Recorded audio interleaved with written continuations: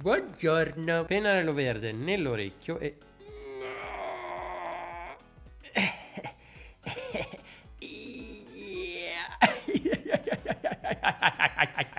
Chissà quando perderò questo pennarello verde. Sarò distrutto. Oh! Che male! Buongiorno, oggi parliamo di una parola che è molto, ma molto strana. La parola è far-fetched. Far-fetched. Usiamo la parola far-fetched eh, molto per descrivere, per esempio, le trame dei film. E, e, cosa vuol dire? Vuol dire un po' quando una trama è un po' forzata, un po' improbabile, un po' poco convincente. Ok. Oppure possiamo descrivere, che ne so, una, una storia che qualcuno ci racconta. John's story was too far-fetched to be believable.